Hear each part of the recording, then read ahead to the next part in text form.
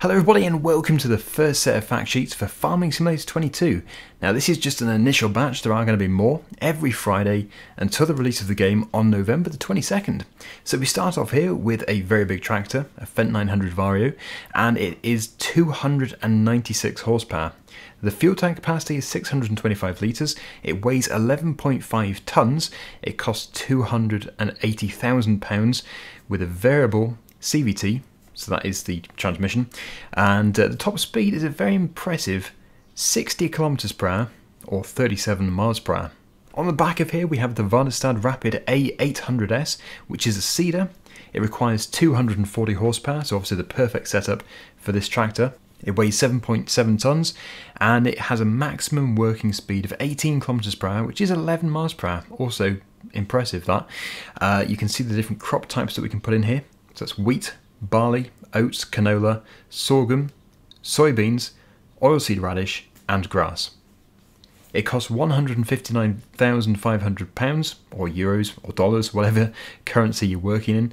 Uh, the capacity is 3,100 litres of seed and the maximum working width is 8 metres. Moving on, we have our first lorry or truck, a very welcome sight for many people the Mack Superliner. So this is a 500 horsepower truck with a 400 litre diesel tank. It weighs 8.8 tonnes and it costs £110,000. It has a manual transmission and it has a maximum working speed or driving speed of 80 kilometers per hour or 49 miles per hour. On the back we have the Convey All trailer and it's the CST 1550, the auger wagon.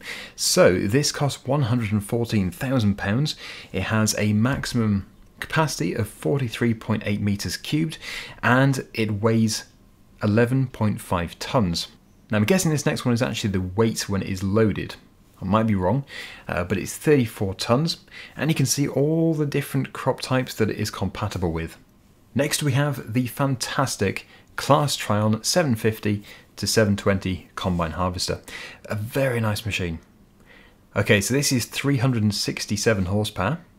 It has an 800 litre diesel tank with a maximum grain tank of 10,500 litres. So that's the amount of grain that it can obviously hold before it has to unload. Um, they're all the crop types that it can harvest. Quite a good selection there. Again, we have wheat, barley, oats, canola, sorghum, sunflowers, soybeans, and corn. It costs £357,000 with a variable transmission that is CVT and 30 kilometers per hour or 18 miles per hour is the maximum travelling speed.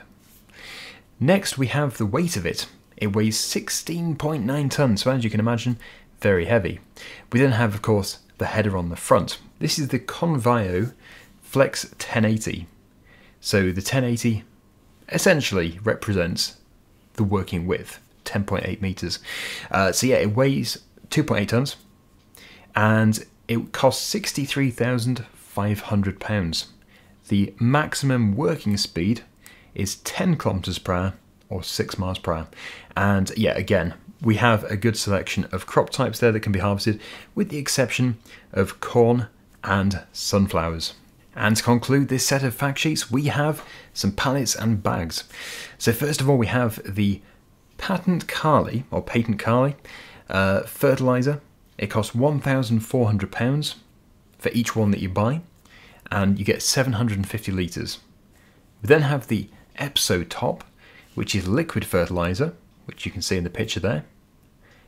This is £9,600, but you do get 6,000 litres. So that doesn't seem too bad. And the Corn Carli, the solid fertilizer big bag you can see on the right hand side there, which I like. Very nice to see the big bags. Um, this is £1,820 and uh, you get 1,000 litres.